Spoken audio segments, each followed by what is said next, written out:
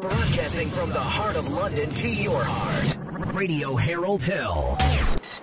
Hello and welcome along to It's My Cakes. My name's Annette Gregory and I'm from Radio Harold Hill and I'm interviewing the manager today. Welcome Amanda. Very nice to meet you. And you too. Thank you for having us in your store today. You're welcome. The cakes are very artistic, they're gorgeous. Thank you. um, let's find out a little bit about you then. How long have you been here in this shop? Uh, we've been in the shop since February. We had a lot of work to do to get it up to standard and since then we've been able to use the space to decorate. Right, okay. And what inspired you into opening a cake shop? Um, I was asked by my sister to make her a cake and um, it went from there. We built, we made cakes, put them on Instagram, a few people commented, started taking orders and um, well, started asking for cakes to be made. Mm. Thought, oh, let me, let me make something out of this and that's where it went from there. Oh, it's brilliant. Some of them are just incredible. My favourite is definitely the one from Beauty and the Beast, the wilting rose. How long did that take to make?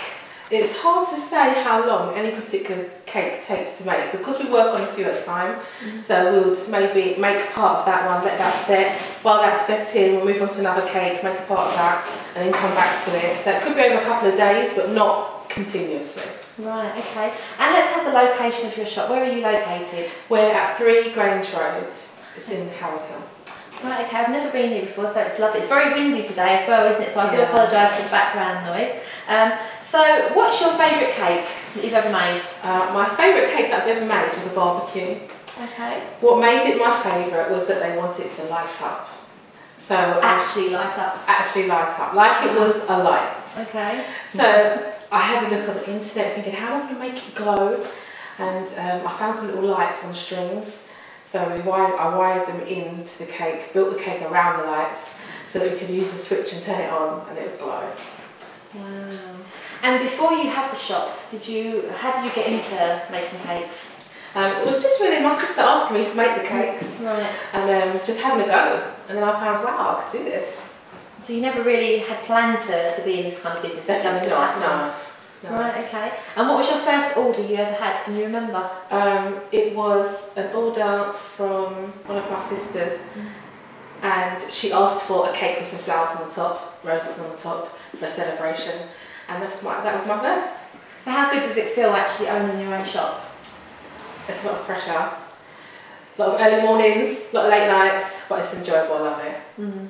And is a lot of your job research based for planning for the cakes you're going to make? Um, Yes, because we have people come and ask us for things like twirly woos. I'm like, what's that? What's that? Never heard of it. So yeah, I have to go away, look online, see if I can find it. Mm. Sometimes I have to watch the cartoons as well, so that we can see what the background would look like or what kind of characters they are, and uh, put cakes together from there.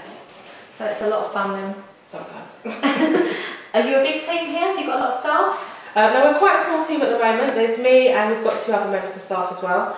And we are looking to expand. We want to take on some um, apprenticeships, apprenticeships as well. So that's something we're going to be looking at for 2016. That sounds really good. So watch this space, I guess. Most definitely. Yeah, yeah hopefully onwards and upwards. Um, so I'm not much of a baker. Any tips for me? Um, the biggest tip would have to be practice. Okay. Practice, practice, practice. If it goes wrong, don't give up. Try again. Okay. And do you have a favourite filling for the cakes?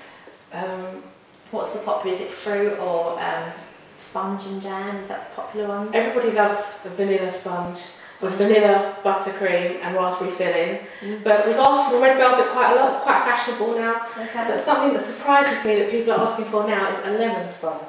Oh really? Yeah. So unusual, isn't it? I'll have to try that and uh, get back to you. Okay then, so um, how long have you lived in the community for? I've lived in Harold Hill for about 10 years now. Okay, and uh, would you like to see any improvements around here? Um, Are you happy with the community as it is? I love Harold Hill. love Harold Hill, yeah. that's good. And uh, do you do any other products other than um, custom made cakes? Um, still around the cakes, but we do cupcakes as well. Okay. So we will do cupcake towers, cupcakes for birthdays, uh, cupcakes to complement people's cakes as well.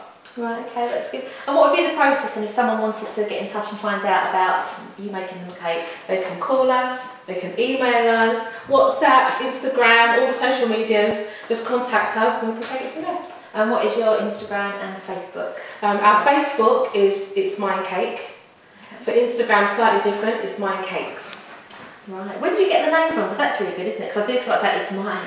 That's exactly where it came from. Right, okay, so. Yeah, people are like, oh, that's my cake, it's mine. So I Yeah. thought, yeah, that's lovely, it's mine cakes. That's a really good idea. And uh, do you have any top sellers for cakes? Any ones that keep being repeatedly ordered, or is every cake completely different? Most cakes are completely different. Okay. Some people say, can you make me this cake? They might change something a little bit, Mm. but Minnie Mouse is quite popular with the little girls. And Frozen, of course. Frozen. Yeah, How many frozen cakes have you made this year? millions. It's like millions. Do you think Minions is going to take over now? Or Star Wars? Oh, I've done quite a few Minions. We've done Batman Minion, we've done Michael Jackson Minion. So yeah, we've got quite a few of those as well. Have you done the Star Wars one yet? Not yet. No, not yet. May the force be with you. that was cheesy, wasn't it? Okay then, um, is there such a thing as a lower calorie choice cake? No. Good. Not inspired anyway. no, we tend to stick to the same recipes, mainly because we know they're tried they're tested, they taste good, and they can cope with the weight of the icing. And we also need a bit of a stronger sponge for when we're carving shapes. Okay. So we will stick to our tried recipes. Oh, that's a good idea. uh, what about for diabetic people? Are you able to offer a diabetic choice cake? Um, we don't offer that at the moment, but that is something we're looking towards Okay. being available. Okay then, and uh, have you had any unusual cakes being requested to be made? We have, um, we was asked to make a baby. And it was for a baby shower. So I said, Are you sure about this? Because then you have to cut the baby and eat it. So I was like, Oh, I think we should do something different here. Yeah, that's a strange Yeah, that was strange. Did they change their minds? She did. she hadn't thought that through. We're very lucky to have our own local radio station within the community. How do you feel about that as well? Um, I hadn't heard of um, How to Radio until recently, more recently. And when I had a look at what you offer, it's quite amazing. There's something for all the community, so I really recommend that everybody go and have a look. Oh, It's thank quite you. cool, yeah. Let's party. Find us online at www.radioharoldhill.co.uk or download the app. Radio Harold Hill.